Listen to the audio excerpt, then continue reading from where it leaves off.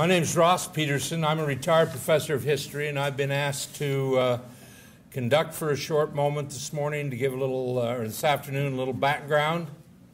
Uh, first of all, in behalf of Utah State University and the College of Humanities and Social Sciences, we would like to welcome you. We appreciate uh, that you are here, and we definitely appreciate the reason you came and for the uh, wonderful decade we've had with Phil and Deborah in our midst. And so, uh, again, we appreciate your willingness to come and share uh, a few moments with them and with us. Uh, I think it's been uh, soon going on 25 years that uh, Leonard Arrington, after he had retired from his positions at BYU and with the LDS Church, uh, announced that he was going to give his papers, his collection, along with his colleague George Ellsworth and others, to USU's library. And the university at that time began thinking, and within the college, about a program in religious studies. Leonard, during the last four years of his life, got intimately involved with the university on outlining some of the things that he would like to see. Uh, he did not say, I want a chair named after me. He did say, it would be nice to have a lecture series named after me, which we have had now since uh, Leonard gave the first one. Uh, and then the, the, university began the process of, of having and seeking uh, endowed chairs and a, and a program simultaneously in religious studies, which for a state university, many people thought this might be some kind of gamble.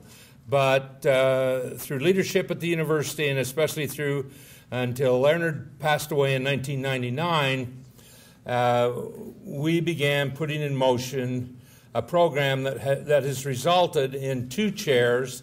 One, the Redd family uh, funded originally to help set up the program and bring in a professor in religious studies, which Professor uh, Ravi Gupta occupies that chair now. And then uh, a few years following Leonard's passing, and after we had uh, solved any of the issues relative to the collection of his uh, resources here at the university, we announced that we would begin searching uh, for a, a chair in Mormon history and culture named in honor of Leonard Arrington. And uh, it, it, was during this period where I left the university for a while, and, and they were wise in choosing as the first occupant of the chair uh, Dr. Phil Barlow. And introduce Dr. Barlow this evening, I would like to introduce you to, if you don't already know him, our Dean of the College of Humanities and Social Sciences, Joe Ward.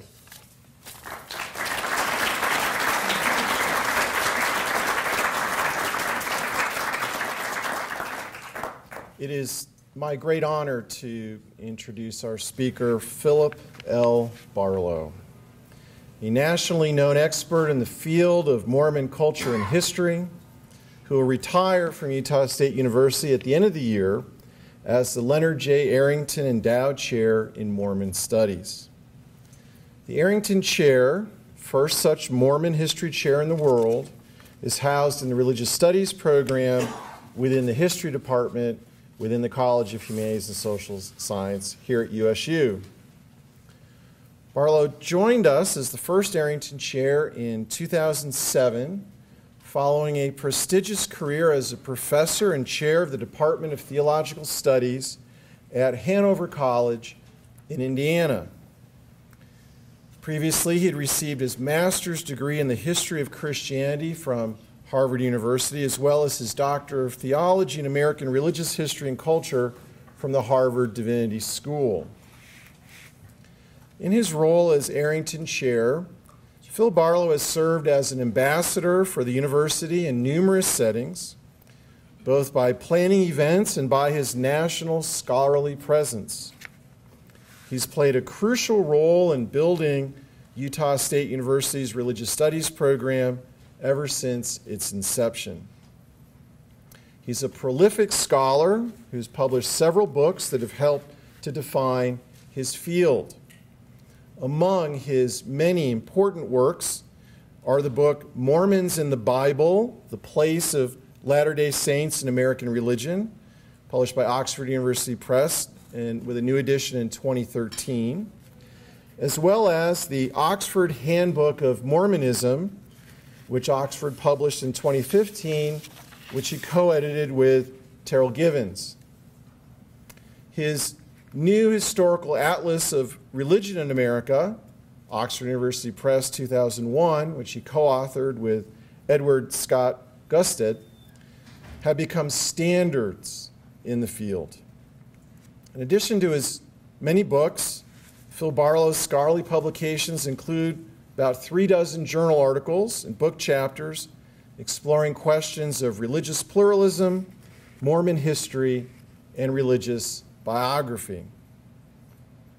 Following his retirement from USU, Phil will join Brigham Young University's Neal A. Maxwell Institute for Religious Scholarship as its associate director with responsibility for its scholarly programs. He will continue his research and writing at the Maxwell Institute, as well as coordinate scholarly mentoring and supervise the Institute's various seminars, lectures, workshops, and discussion series. We have been so proud to have Phil as a leading member of our faculty, not only in the program, the department, the college, indeed the university. And so please join me in welcoming Phil Barlow for his last lecture.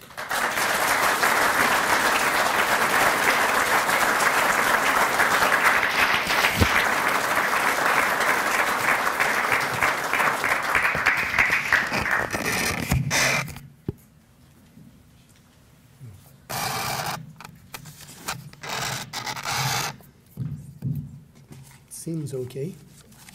Mm.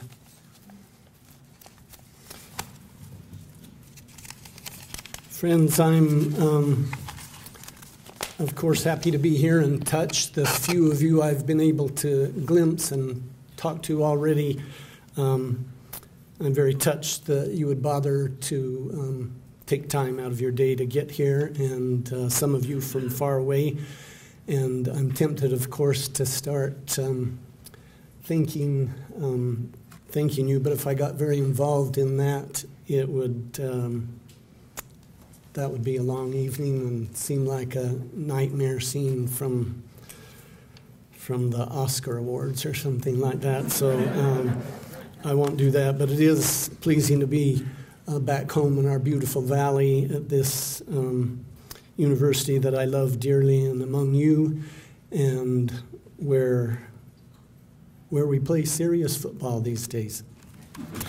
Uh, I do think the university as a whole, I love the very idea of the university. Deborah and I, long ago, decades ago, concluded that we would never want to live far from one, and I love the mission and the history of our Utah State University. I have great fondness and high regard for my associates, uh, some of whom are here. Um, again, that would be um, maybe this would be the wrong time to get too involved in particular names, but um, they're within me. I'll just represent that by a memo I got from my colleague and friend down at Brigham Young University, George Handley, a scholar who recently uh, came up for our God and Smog conference and you are sinners and errant if you missed the God and Smog conference. Uh, George um, wrote me an email after the fact because um, a family illness prevented my attendance, and he concluded his admiring remarks with this thought I loved the experience. Your colleagues there are fabulous and must have been hard to part with. That's true. I'm grateful for donors who have made this program possible, both, um, both the Arrington position to have that come into existence, but also the Redd Chair and the Religious Studies program as a whole, and the college and the university as a whole. And um, I particularly am grateful for my student friends over the years and many of you whom I um, have glimpsed um, here today. I, in certain kinds of classes, used to um, tell them on the first or second day of class um, about how to get an A in this course, and I'd describe you do such and such for an adequate grade, like you're going to get credit here, and it requires something more from some strong effort and performance um, to get in the B or B plus range. And if you're superb at everything I ask you to do and thinking critically and responding well to all the queries put to you and that you add to the class, then you get an A minus. and the only way that you will get an A in this course is if you teach me something new. And I gave out some A's in my career. Uh, so that happened regularly. And in truth, if you didn't happen to be an A student at religious studies but were um, a superb skateboarder or racquetball player or pianist, um, most everybody has taught me some things along the way. So thanks to everybody. Um, Susan, especially glad to have you here, and it's been um, an honor um, more than I'm worthy of to be associated with the name of Leonard Arrington for such a long time, who did so much um, for the study of religion and for his own religion and for the study of a bunch of other stuff and for this university. Uh, my title is, as some of you have noticed, The End of Religion. That's an abbreviation for a more grand title. Originally, um, I had envisioned initially in bright lights and big letters the end of religion and the end of Philip Barlow. but Ravi, who likes very few of my ideas, frowned at that, so the end of religion. Uh, Janelle Hyatt, my friend who's the director of communications for the college, um, stopped me in the hall the other day, however, and said, What the heck? She said some other things with her eyes. I knew what she was thinking, but she said with her lips, What the heck? Um, how am I supposed to send word out about this? I don't know what that means. And so here's what I mean by the end of religion I, re- I mean its demise, its termination, its death, as hoped for by a good many critics of religion uh, a dismissal of religion wholesale as unworthy of notice, except for how can we get rid of it? Because it is a form of illness and it gets in the way of human flourishing and it produces fanatics and superstition and such.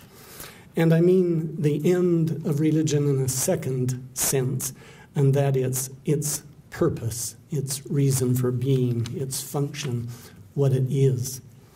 And while saying goodbye to you tonight, it's possible I might get a little personal here and there in a way that would offend some of my religious studies colleagues, who knows, um, because we um, are here as religious studies scholars not to promote or denigrate religion, but to study it and to analyze it and leave personal skepticism or personal advocacy um, for other people or if we're religious or critical of religion um, for our personal lives. But I might get a little personal because um, what are they going to do? Fire me? so while saying goodbye to you, I'll suggest that critiques of religion meant, meant to hasten its death are not vacuous, except for when they are vacuous, but in the hands and on the uh, typewriters of serious thinkers and critics, they're not vacuous, but they are problematic. They are complicated and they are responded to. So pro- problematic are these critiques when they're intended to dismiss religion wholesale and when coupled with a consideration, uh, so problematic is that, but when coupled with a consideration of what religion in its, I think we just went dead. Shall I pause? You're hearing me in the recording, okay? How about when I'm speaking without a mic? Are you hearing me back there all right? I'll do that until rescue comes to me. Ross, my mother instructed me more than once that I'm not good at projecting, so I'll hope for your wave back there. Um, when we consider religion's end, its purpose, its role, what it is in its essence, and critical responses to the criticism of religion wholesale, um, it seems to me that its demise is unlikely.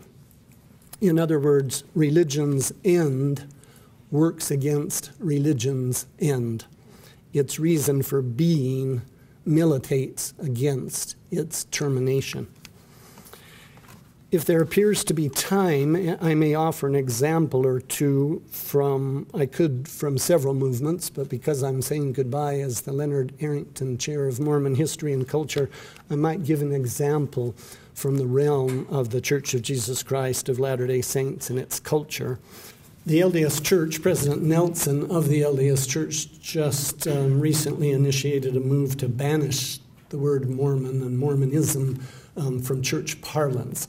Um, and the primary motive behind that, which has been on his mind for a number of years before he became the president of the church, is that we're not, uh, Mormons are not disciples of Mormon. That's a name that was a nickname um, first applied, Mormonites, shortened to Mormons by um, critics of the church about this new sect that had appeared in uh, the American historical scene. And so um, church members have sometimes uh, grappled with the fact that they're accused by their evangelical critics and others of not being Christians. So um, I've got 60 years or so of habit in saying the words Mormon and Mormonism, both as a scholar and as it happens, I'm a practicing member of the faith. So if I uh, slip up there, no offense meant to you, members of the Church of Jesus Christ of Latter day Saints. um, also, um, also, the term Mormon and Mormonism refers in scholarly usage to a good deal more than the institutional church. And so, um, without hoping to um, cause offense, that's a problem too. We're not always talking about the organizational church. So, um, forgive me if I mess that up, but that's partial preemptive um, description. Okay, religion's demise.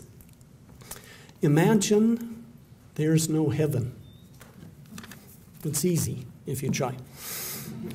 No hell below us, above us only sky. Imagine all the people living for today. Imagine there's no countries. It isn't hard to do, nothing to kill or die for, and no religion, too. Imagine all the people living life in peace Imagine no possessions, no need for greed or hunger, a brotherhood of man. Imagine all the people sharing all the world. You may say I'm a dreamer, but I'm not the only one. I hope someday you'll join us and the world will live happily ever after as one. it's also appealing. Its author was an ingenious gifted man, not an educated man, by the way, in a formal sense, John Lennon, but a smart dude. Um, British polls um, have pointed out, Rolling Stone pointed out, that John Lennon is construed uh, by Brits as the seventh greatest Briton ever. There's been a lot of Brits this song has its appeal and it has, like its lyrics, a simple and, excuse me, pleasing melody.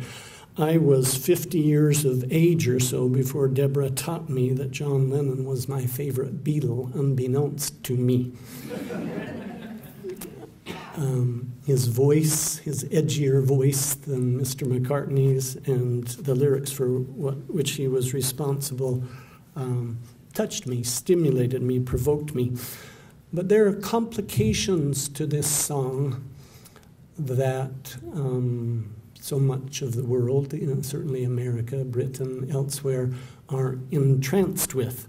One of them is John Lennon's personal life, which in many ways was a train wreck.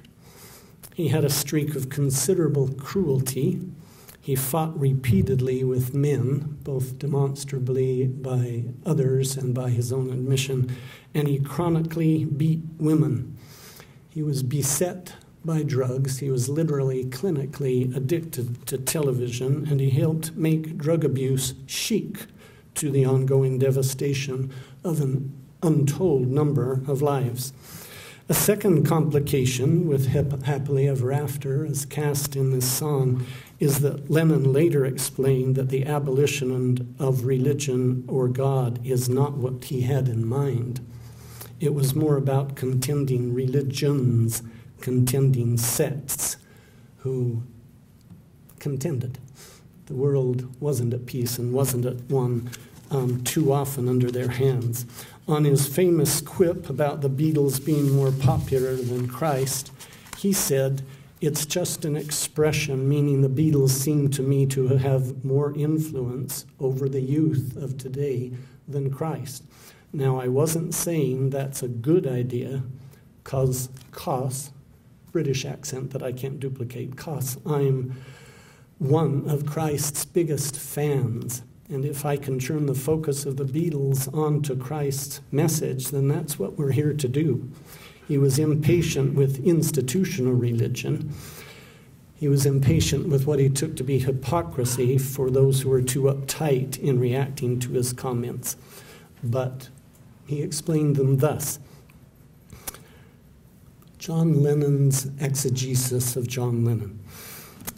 The year following, a third complication, the year following the 1971 release of his historic song, Imagine, Lennon wrote a desperate letter to, of all people, an American televangelist and a Pentecostal one at that, Oral Roberts, confessing his, Lennon's, dependence on drugs, excuse me, drugs and his fear of facing up to the problems of life.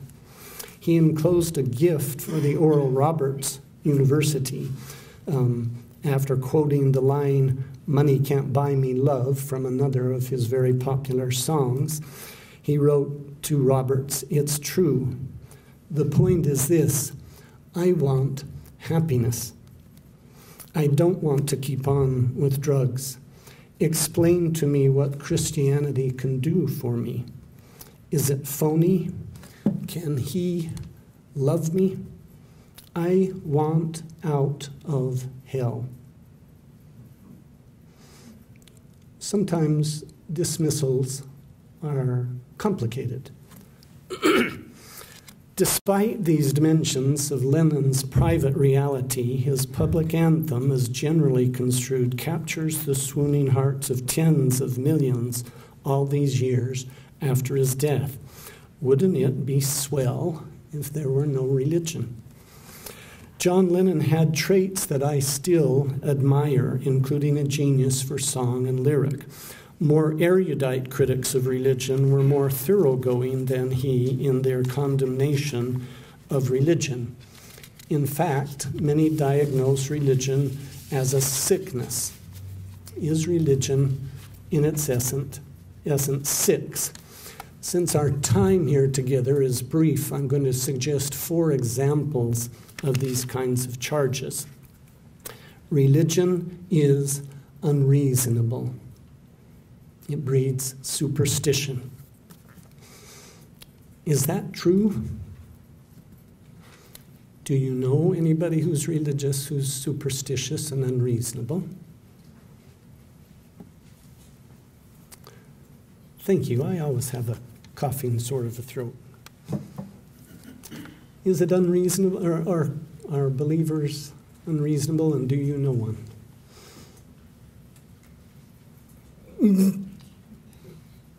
Duh.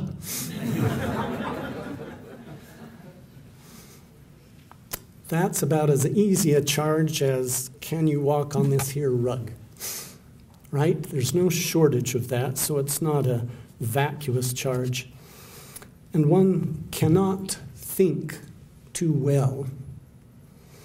But I want to suggest one can think too much.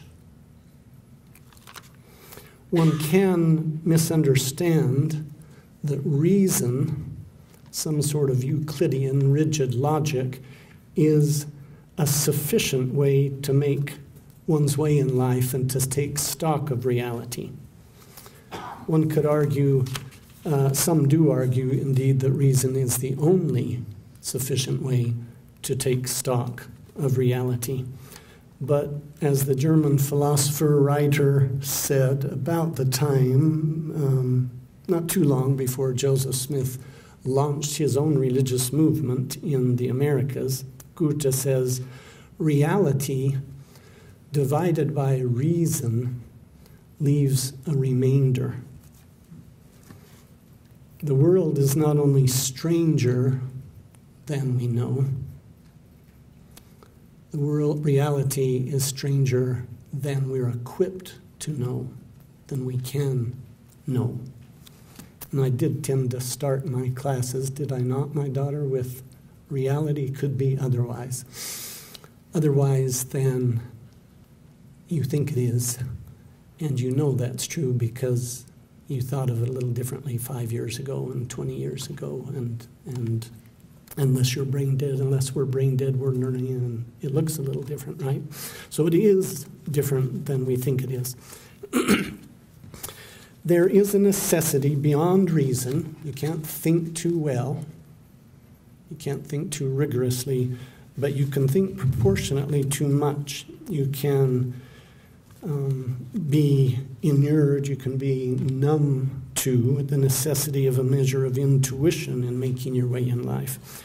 You can be out of touch with body knowledge and body memory, as if your name were Barlow and it had been a while since your jump shot was successful, you could verify. Um, the worlds of art, of music, of imagination, of friendship, of love, and inspiration are very real realms.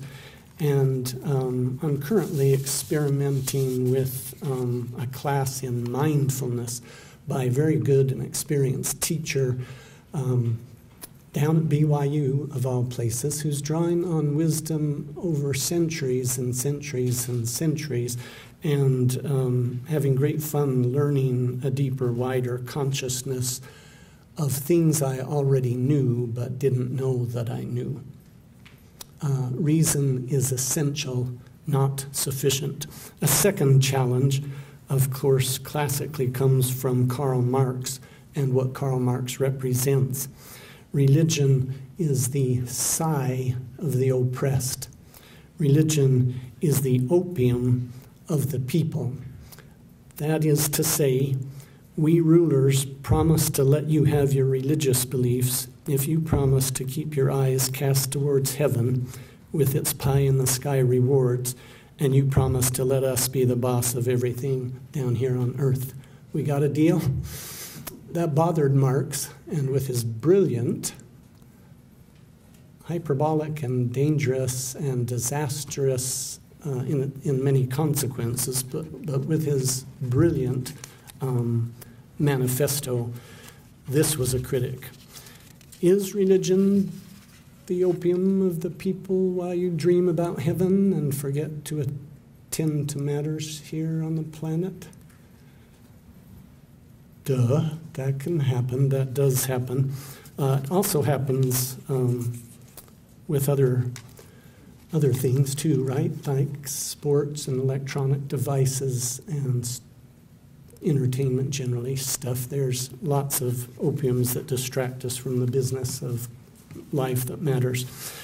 There are also other difficulties. Marxist revolutions themselves have suppressed and destroyed um, human thriving in their practical applications in many dramatic instances you wouldn't need reminders about. Another difficulty with this charge, if it's construed as dismissing religion as a whole, is that the core teachings of diverse religions certainly including those um, represented in the Book of Mormon, champion justice and freedom and condemn inequality and rigid imposed system of class and privilege that might have pleased Karl Marx. Many religions without destruction parallel to those of um, political communist revolutions, are in fact communally based in whole or in part. As an example, the Church of Jesus Christ of Latter day Saints surrendered its more thoroughgoing communalism of the 19th century at the 20th century's beginning and accepted the basis of capitalism in order to survive in its host society as it negotiated a reconciliation with federal authorities and fully rejoined the American nation. Indeed, certain aspects of Latter day Saint culture, such as industriousness and a knack for organization and cooperation and respect for authority, famously lend themselves to success in the world of business, as names such as Romney, Marriott Huntsman, Franklin Covey, Clayton Christensen, and a small army of Mormon mafia on the faculty of the Harvard Business School over the last half century. But elements of the church's communal past do endure, and the church enacts one of the most impressive welfare systems in the history of the world, in my judgment, um, aiding both members of its church and millions of others across time. A third major charge is the problem of human suffering. That human pain, human conflict, human calamity is too big for either a rational or an ethical belief in the divine. Human history is soaked to its core in blood and agony of the most imaginative and unimaginable and unimaginable sorts that you and I all learn with each year that we're on the planet. Isn't that a remarkable surprise as we go along?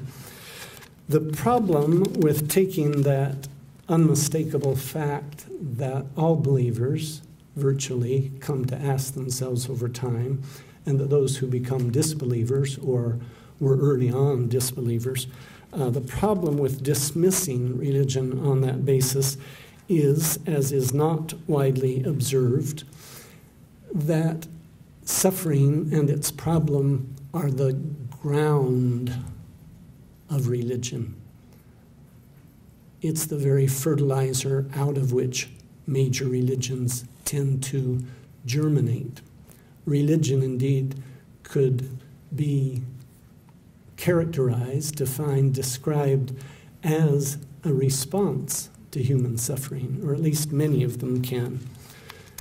Judaism, as far as we can make out with modern tools of biblical criticism, archaeology, anthropology, textual analysis, Judaism did not begin with a prophet declaring creation and then a bunch of stuff happened recorded in the book of Genesis.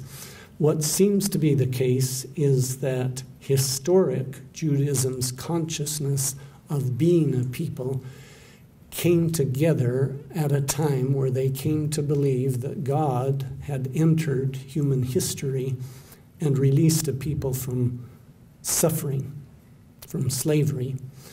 And then they looked back mythically, as historically as they could, joining stories from diverse tribes. But the consciousness of Israel, historically, as far as modern criticism can tell us, began as a response to suffering and a belief in divine help. Christianity, similarly, did not begin in a manger, in a sweet Hallmark postcard, but began as a movement on a cross with reflection on what that meant that this Messiah figure, this not political zealot but revolutionary um, figure who had taught them, whom they had followed as a rabbi, as a master, and they reflected back at the time of crucifixion and afterwards about what that all meant, what the crucifixion meant, what hope after a crucifixion meant, and what all the teachings of this teacher meant, and how to put that together.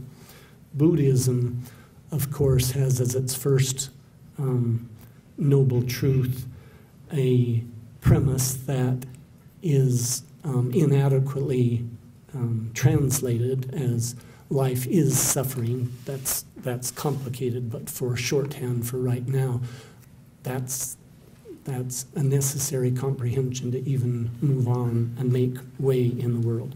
We could say that of many diverse religions. Islam came into being, Muhammad received his revelations in a social context of great suffering, great commotion, great, great um, conflict, and great um, ignorance and causing of human suffering that Muhammad came to believe he had received revelations to set right.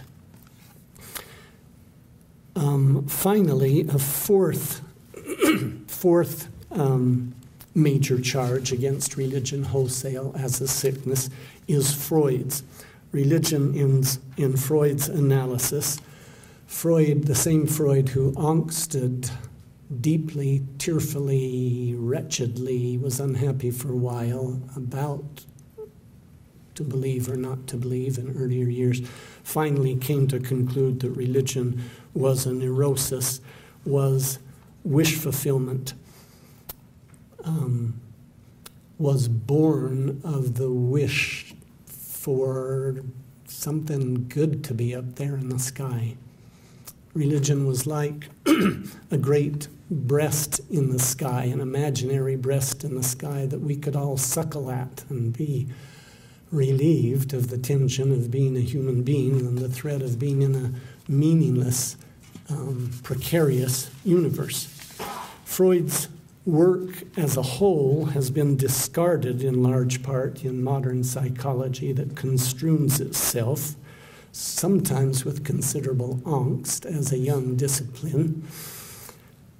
Some colleague out there is going to yell at me, but that's what I think. Um, but it, it construes itself as um, much more a science than an art and um, doesn't take much of Freud's work seriously, but he remains a pioneering figure in several fronts, such as the exploration of the human unconscious and its import. In a series of important and profound works, including Civilization and its Discontents and The Future of an Illusion, Freud maintained like Feuerbach before him and many after, that man has created God in his own image. Man, uh, using the gender imbalance terminology of his day, man created God in his own image.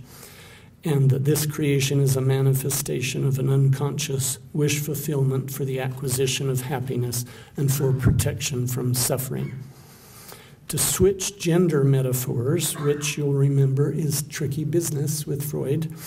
Religion is a vast and alluring breast, as I said earlier. Religion is too strong for many individuals to address, and when by herd instinct they band together in common cause, we call it religion, which is to say, mass delusion.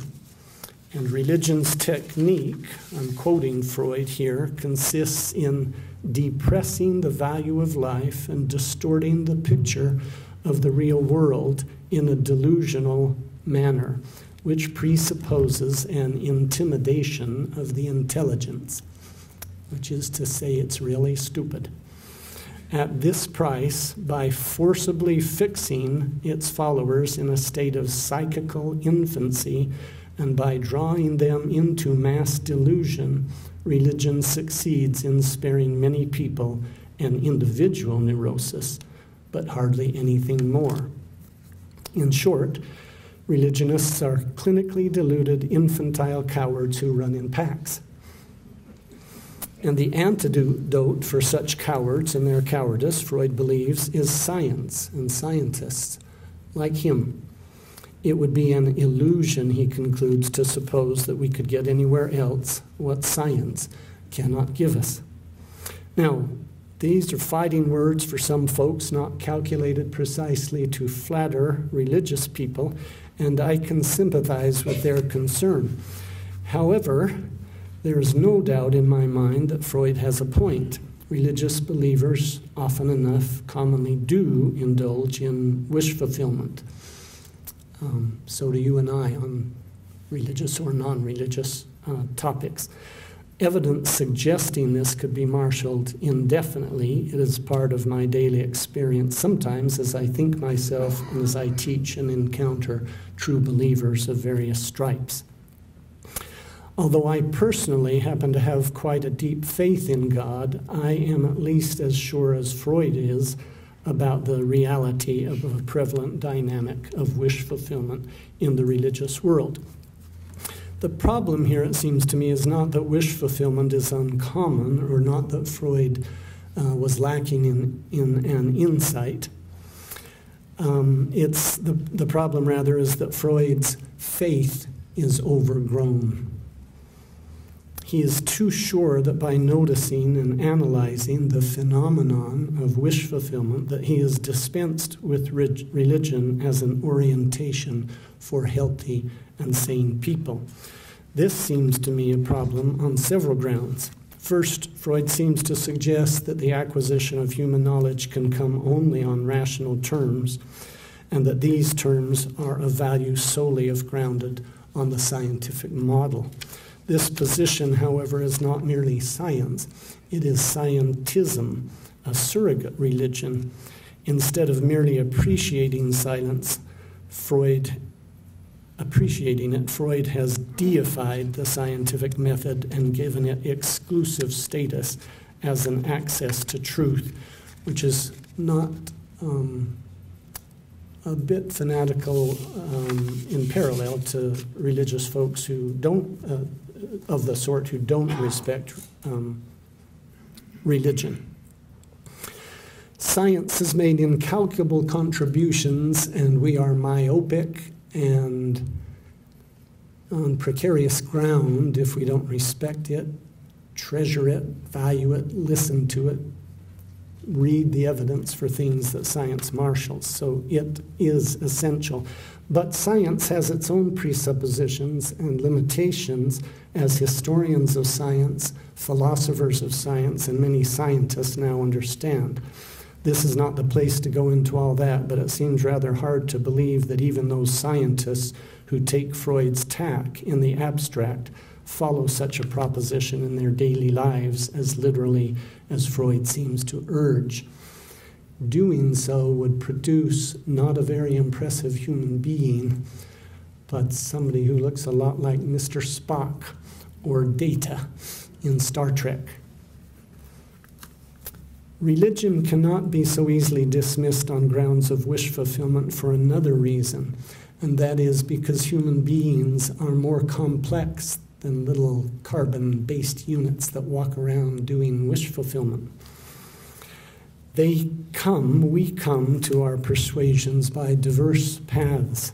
I have friends and acquaintances, for instance, who seem to have acquired their religious disbelief on the basis of wish fulfillment.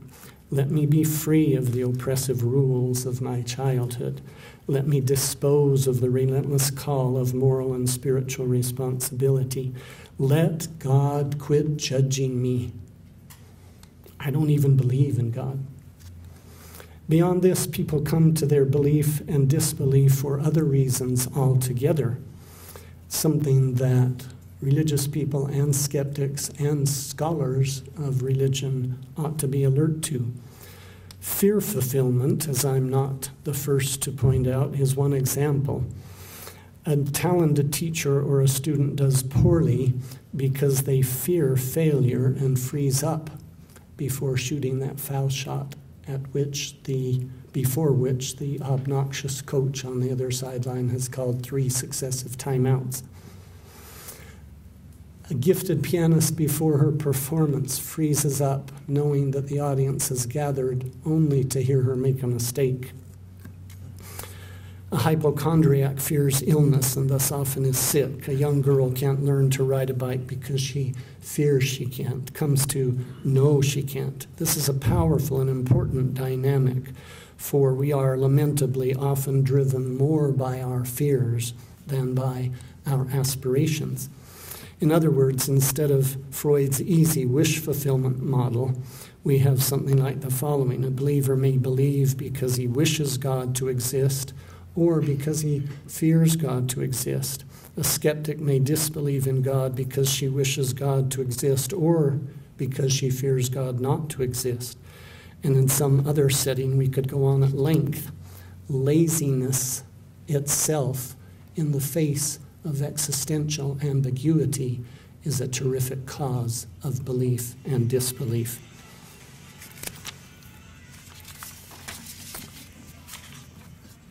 All these human inclinations tell us nothing, zippo, nada, about the reality of God or the divine.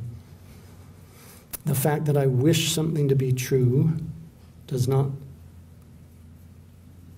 prove that it's not true or that it's true.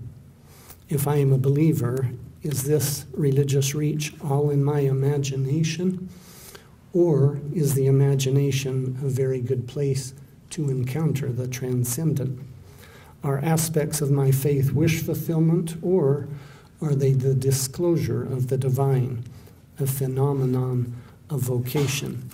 That's not an easy question, and the answer probably does matter at some level, if not necessarily in a religious studies classroom. But at another level, the answer may not be crucial. For the real is not, ultimate reality is not something we know, it is something in which we put our trust. And I remind us all that one does not successfully and repeatedly get out of bed in the morning without placing one's trust in something. In human institutions, in the secular world, in something more transcendent. And so it goes, along with these four examples, with any attempt to dispose of religion wholesale. Can I ignore religion? It bores me. And religious people are preachy. Yeah, you could ignore it, but not without consequences. In the same sense, one can ignore a liberal education. I'm getting along just fine. I have a good paying job. Who needs to study anthropology? You can ignore all manner of things in the world, but not without consequences and attendant um, ignorance and blindness that affect by commission or by omission the map that we all carry around about what reality is. I think to draw to a near conclusion that such critiques that try to dismiss religion as an entire enterprise suffer in part from a misunderstanding of what religion's end is, what religion is, what its role is, how it functions, and where it came from. I know of one psychiatrist who was a trainer of many other psychiatrists who always taught aspiring psychiatrists to find out as soon as you can what your patient's religion is, whether he or she admit to having one or not. So the implied definition behind that psychiatric assertion is that religion is one's map of reality, or as the theologian Paul Tillich put it in the 20th century, religion is our ultimate concern, um, be it an atheist, atheistic one or otherwise. Hence, when we, uh, seen through this light, seen through this definition or framing, when we dissolve formal, organized religion, one is left with a de facto religion, a religion surrogate, a something in the place, in the hole where religion might go. And that something is itself subject to inquiry and subject to um, critique if one is courageous enough to and clever enough to discern one's own religion um, then, then we have a, something that, just like religion itself, could be studied and could legitimately be studied in the academy. I never got around to it because my dean and the director of religious studies were such slave drivers that they kept me busy on other tasks. But I had considered, I had considered um, teaching a course on secularism because it too is a thing, a cluster of habits and frame of mind that can be identified, and once identified and named, can be studied like any other thing, like religion itself. And there is indeed um, important recent works, Charles Taylor and others, on the subject of um, secularism and um, also, there are professors whose major focus is the study of secularism at other universities. Some definitions of religion go like this religion is what one does with one's solitude. That's a kind of insightful, clever one.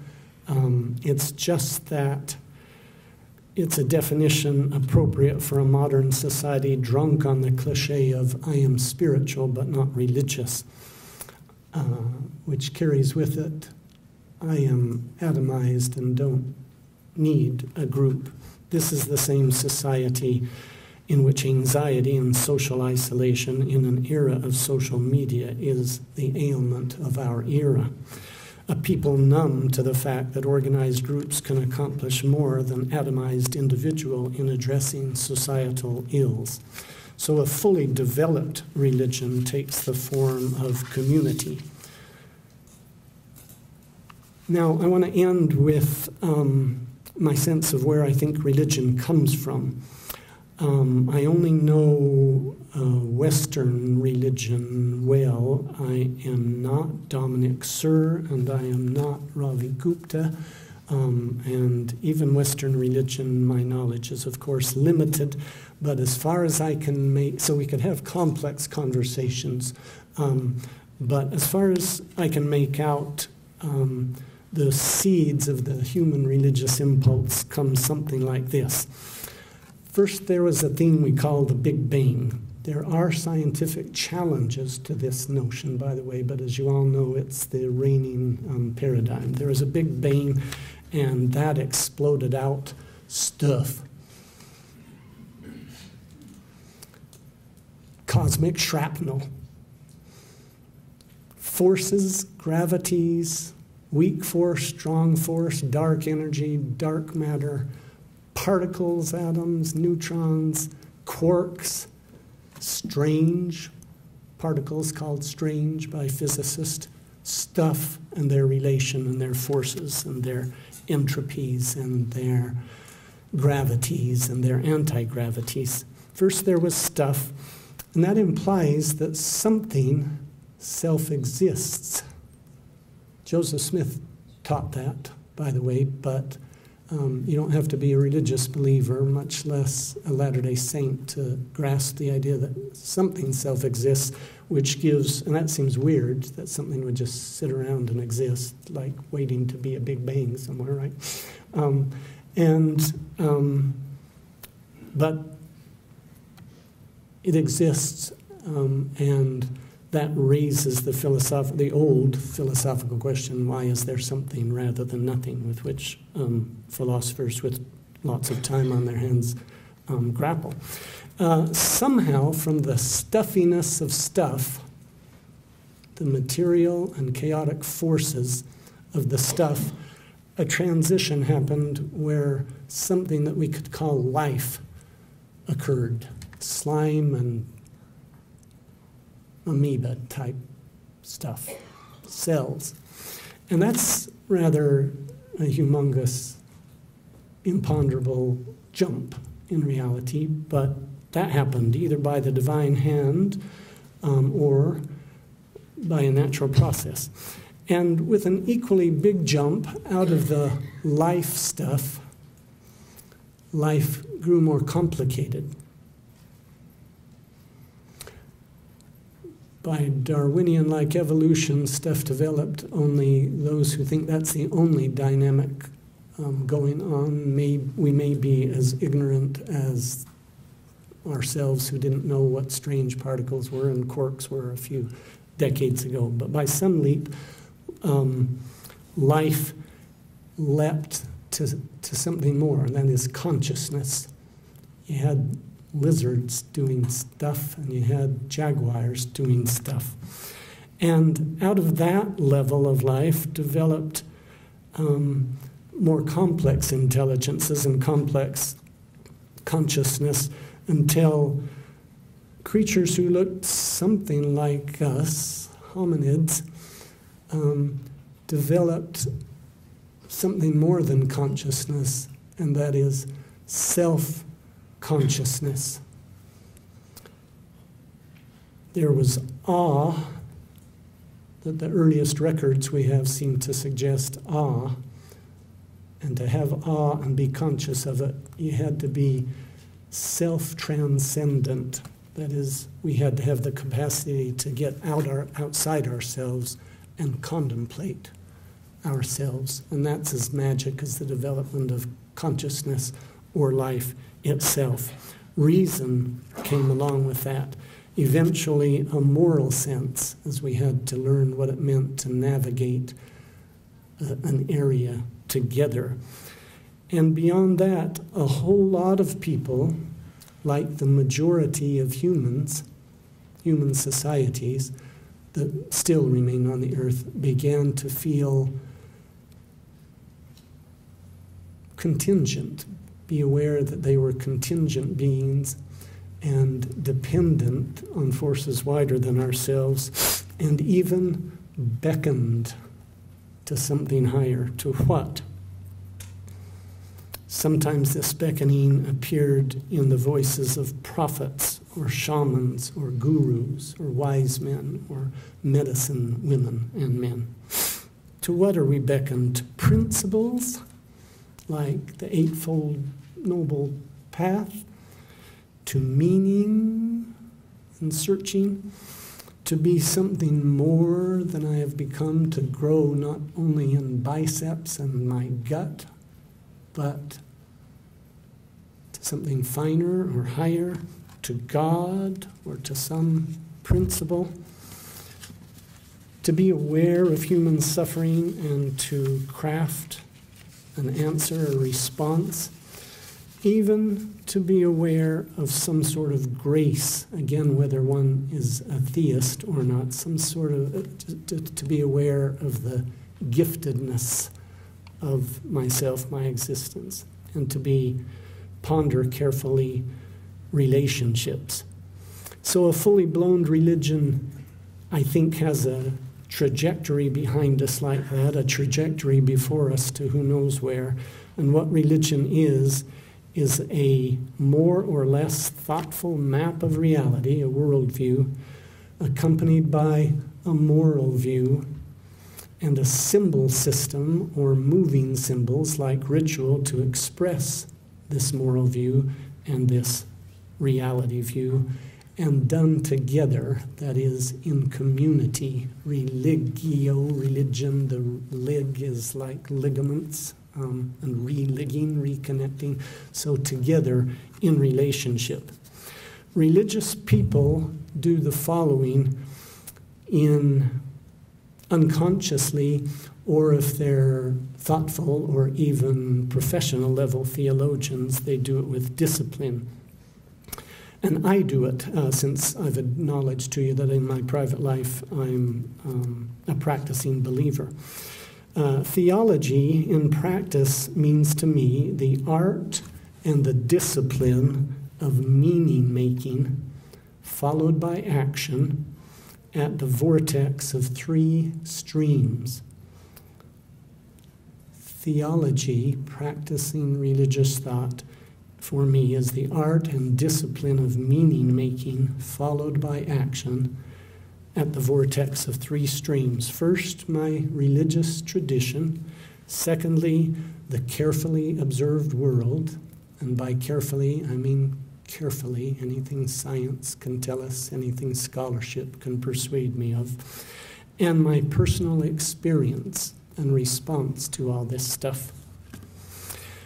I think all that means that whether you're a believer in the divine or not, religion, as broadly defined, ain't going anywhere. Rather, it changes forms. And it's all enough to make one think that this religion thing is worth studying. Whether you major in business, whether you major in history or philosophy or even in the sciences, um, it's necessary to understand this stuff, including the sciences, not in a vacuum, not merely in a test tube, but in relation to the culture that you inhabit. Um, because you're operating in a world with other humans, and your work may have consequence for other humans. Not to do so, not to understand the cultural influences of science, not to understand the religious dimensions of those with whom you aspire to do business, not to include it in your historical studies, is to choose to remain oblivious to or presumptuously condescending to one of the most potent sources in existence concerning human motivation and behavior. It's a little bit like. Um, we historians who, before the 1970s, did a lot of sophisticated historical analysis. And then, as feminism, second wave feminism, rose in the 1970s, we realized our enterprise forgot half the human race. And it wasn't just we better go figure out what women are doing, but rather that changed the entire enterprise. It mattered to men, mattered to women, it mattered to institutions, it mattered to how we thought as a people. Now, I think that similarly, that the failure to study religion rigorously, thank you, Utah State University, for um, understanding that about 50 years later than some other universities, but to be the first in this area of the country to recognize that. Trying to understand human culture, human behaviors, individuals and groups and whole cultures in relation to one another is a little bit like trying to understand a football game where one quarter of the players are invisible. I'm saying goodbye officially to Utah State University with this talk, sort of, but I'm still employed and doing sneaky work on the side until December 31st. Um, but um, personal circumstances have um, prompted me to, to take a pause and say goodbye to the university. But George Handley was right. Uh, my friends, um, my students, my colleagues up here have not been easy to leave, and um, I've gone, I've apostatized and gone south in order to have a little more space to get um, a couple of books written with which I am pregnant and need to do it. Otherwise, um, I wouldn't have left our beloved school casually. I'm deeply in debt.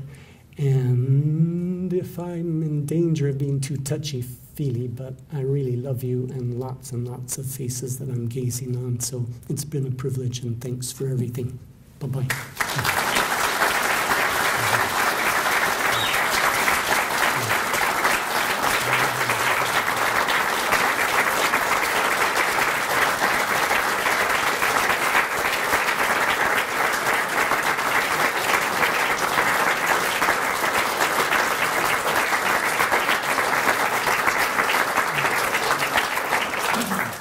This is not an encore.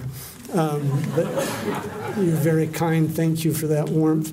Um, Ravi prompted me. We had discussed the possibility of responding to any question. I was a little too gabby, and so we might only have five or six or seven minutes to do that. But if anybody has any question about the absurdity of some or another of my assertions, then be glad to entertain that.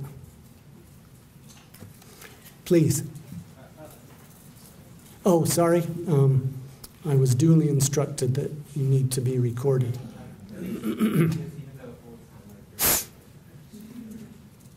oh, by the way, when anybody, when, it, when the subject is religion and you're in a public sphere, um, there's always folks in the audience who want to um, yell at religion or yell at you and rant about something. So this five minutes would be good if there's a succinct question rather than a discourse. So.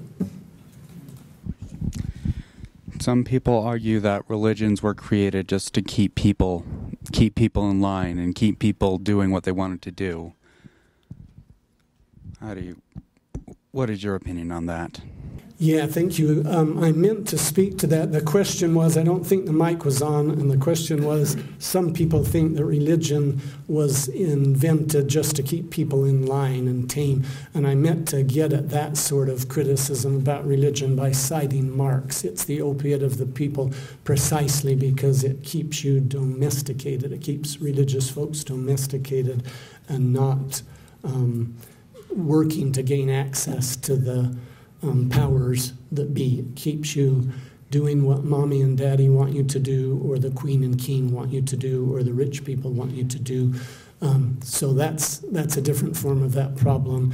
And I suggested in response, um, certainly religion has functioned um, when people are, have their eyes set too far um, in an afterworld or in the sky in an imagined heaven whether there's a real heaven or not. They still, it still has to be imagined um, without um, working at what it means to um, try to form a society that's just equal and helps human flourishing, or just helping the little old man who lives next door to you who can't afford uh, his groceries and what groceries he has, he can't get up to the second floor of the apartment building. Um, then that's a kind of an opiate. We're in some sort of a drunken state, and I think Marx has a point. But also, my response was many religious um, impulses and indeed practical actions share Marx's concern about the quest for equitable power structures and fostering human suffering. So it's a legitimate critique of some religious expressions. It just doesn't work as a way to dismiss religion wholesale, as Marx attempted. Thank you.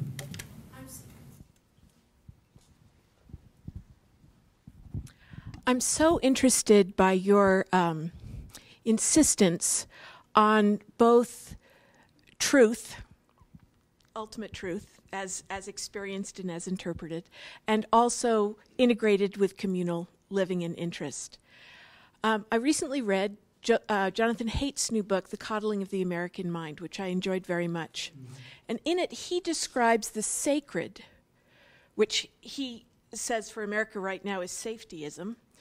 Um, is safetyism that... is a lovely quasi religion. I like it.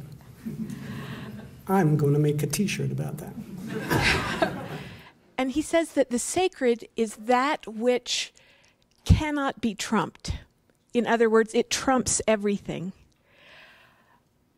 Are you comfortable?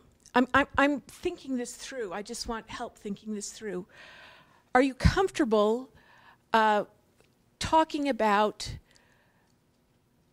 truth and love, or empathy, or whatever, and action as that which is sacred in religion?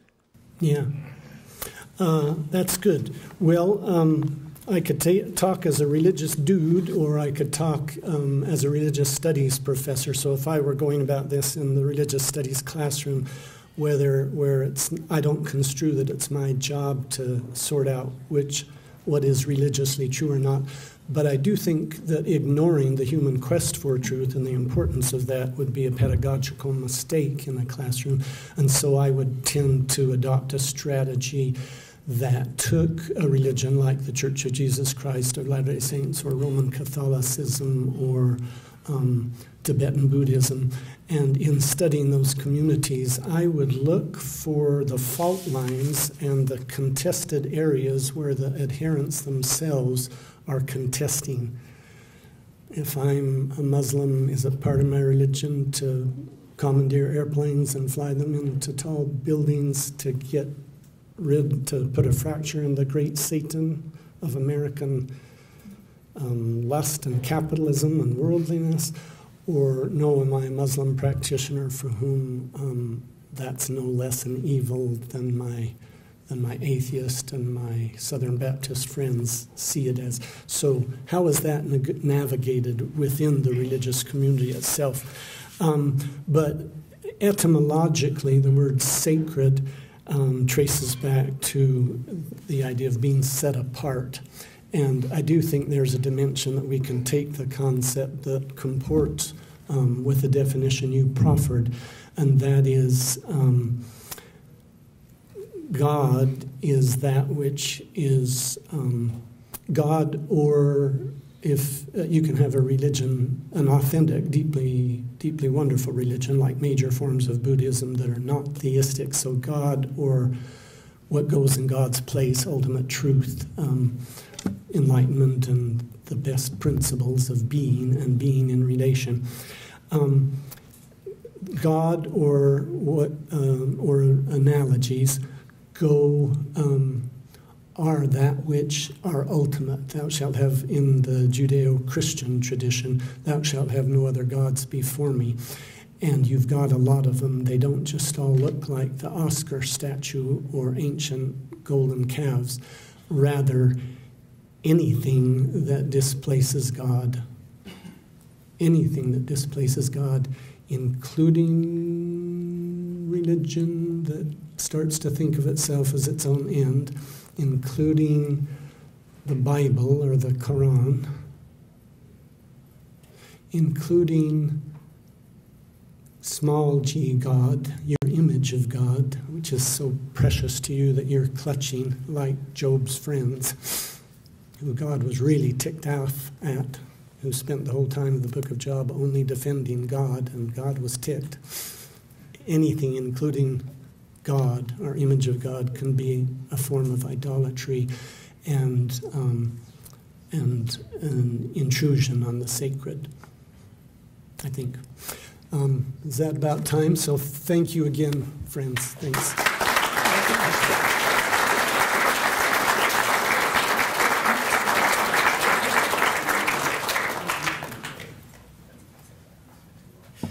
Um, so at this point, uh, I'd uh, like to uh, give a gift of appreciation on behalf of the Religious Studies program and the History Department um, and the College of Humanities and Social Sciences to uh, Philip Barlow. If I can request uh, Jeannie to come forward to help me with the gift here. You'll see why in a minute.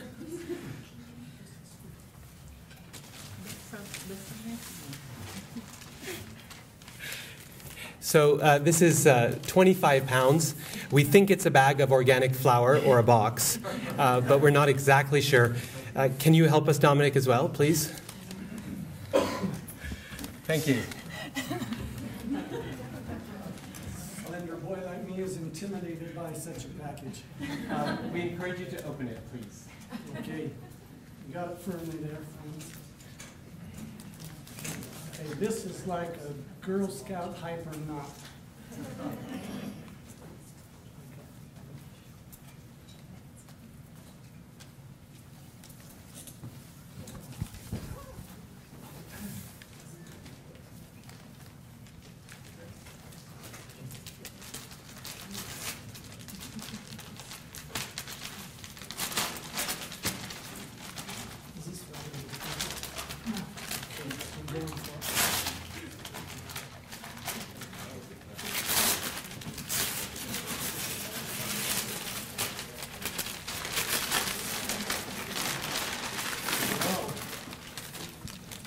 Game?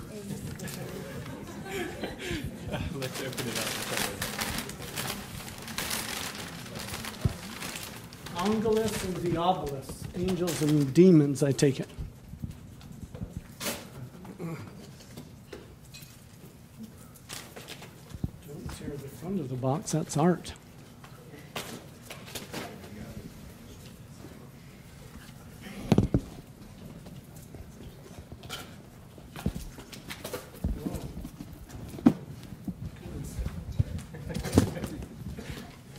Here we go.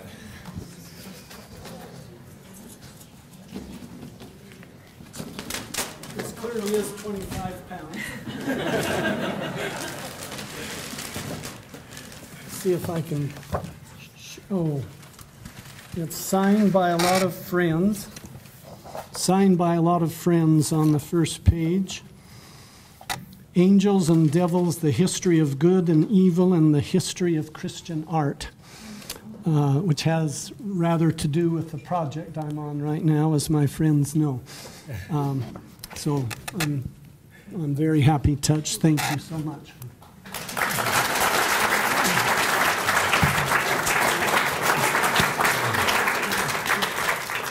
Uh, Phil is working on a project about war in heaven. Um, I've also been told by my colleagues that angels and devils accurately uh, reflects the composition of our own department. Um, and uh, the only thing we ask you, Phil, is during the time of the reception, if you could name who's who in which category, that would be very, very helpful as you leave. So, um, thank you all so much again for being here this evening. We really do appreciate it. We know many of you have come from quite far away, uh, quite a distance, and made an effort to be here. Uh, please take the time now to enjoy some refreshments, uh, to congratulate Phil personally uh, for his work here at Utah State, and uh, enjoy uh, each other's company. Thank you all. Good evening.